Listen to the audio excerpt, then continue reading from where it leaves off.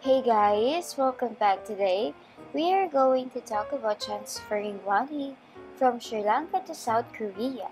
We are going to talk about three ways to send money if you are in Sri Lanka and you want to send money to South Korea.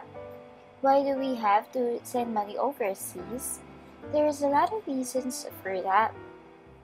Whether it is for buying or selling properties, helping a family or a friend, living or traveling abroad, paying something we buy from international supplier, or for emergency purposes and so on, we wanted to make sure to have a fast, safe and secure transaction.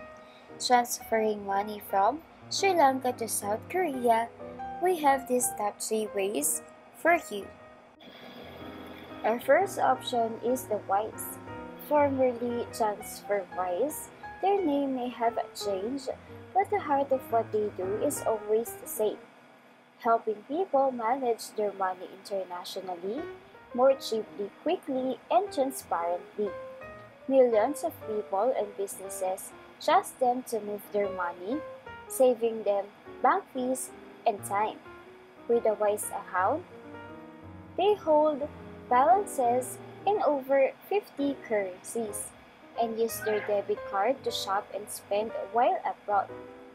They are partnered with banks and companies like Monzo, Bolt, and Go Cardless to bring their customers better international banking. And people like Richard Branson and PayPal co-founder Max Levchin, among others, have invested in their vision. And for more information on WISE, just check the video description. The second option is the Western Union. The Western Union Group is the world's largest international money transfer service provider. Based on 135 years or more of experience in money transfer operations, Western Union provides an international money transfer service at about 510,000 locations in 200 countries. The core business is listed on New York Stock Exchange. And for more information on Western Union, just check the video description.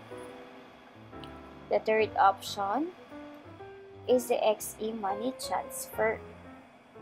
It offers transfers into more countries and currencies than practically every other provider. Through their comprehensive online platform, this makes XE, Mon, uh, Transfer an ideal, ideal choice if you're converting money into a less traded currency. In addition to the website and mobile app, XE also offers customer support over email and by telephone, and a bunch of other money transfer services. They don't charge transfer fees and make money on the difference between the base exchange rate and the exchange rate you get. This makes them one of the more competitive providers out there, although they're not always the cheapest. And to know more about XE Money Transfer, just check the video description. Money transfer companies and government change the rules all the time. So if one of these services are not available anymore, or if you know another reliable ways to send money abroad, make sure to leave us a comment and let the rest of us know.